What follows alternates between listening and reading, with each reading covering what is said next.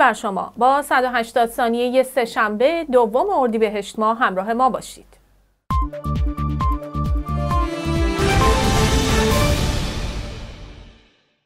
با توجه به اینکه نهادهای مختلف داخلی از جمله برخی اعضای شورای شهر تهران مدعی هستند که وزارت بهداشت ایران با آمارسازی دارد با جان مردم بازی می کند و حتی مرکز پژوهش های مجلس نیز با انتشار گزارشی اعلام کرده. آمار واقعی تعداد افراد جان باخته حدود دو برابر و آمار مبتلایان بین 8 تا ده برابر آمار اعلام شده رسمی توسط وزارت بهداشت است.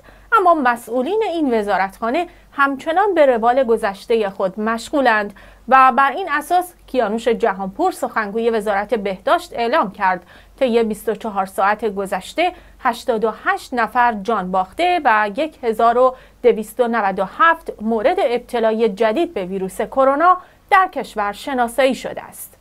وی تعداد کل فوت شدگان را 5297 و آمار کل مبتلایان را 84802 نفر اعلام کرد. محمد علیخانی رئیس کمیسیون حمل و نقل شورای شهر تهران خبر داد 20 راننده تاکسی و راننده اتوبوس واحد به علت ابتلا به ویروس کرونا قربانی شدند. او گفت که 317 نفر از رانندگان تاکسی به کرونا مبتلا شدند. علیخانی آمار دقیقی درباره رانندگان اتوبوس مبتلا به کرونا نداده است. همچنین تست بیش از چهل کارگر مجتمع کارگران پتروشیمی ارومیه مثبت بوده و آنها در قرنطینند. مدیر عامل شرکت اما می‌گوید نمی‌توان تولید را متوقف کرد. نادر قاضیپور نماینده ارومیه هم این خبر را تایید کرده است. گزارشگران بدون مرز در گزارش اخیر خود با عنوان ردبندی جهانی آزادی رسانه ها در سال 2020 اعلام کرد که ایران در بین 180 کشور در رده 173 قرار دارد.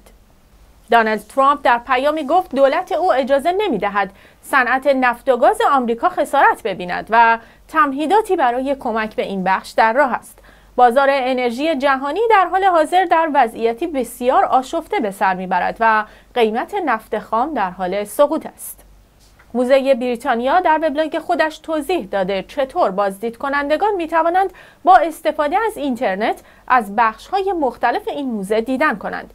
استفاده از گوگل استریت ویو و بازدید از گالری های مجازی این موزه از جمله این راه هست.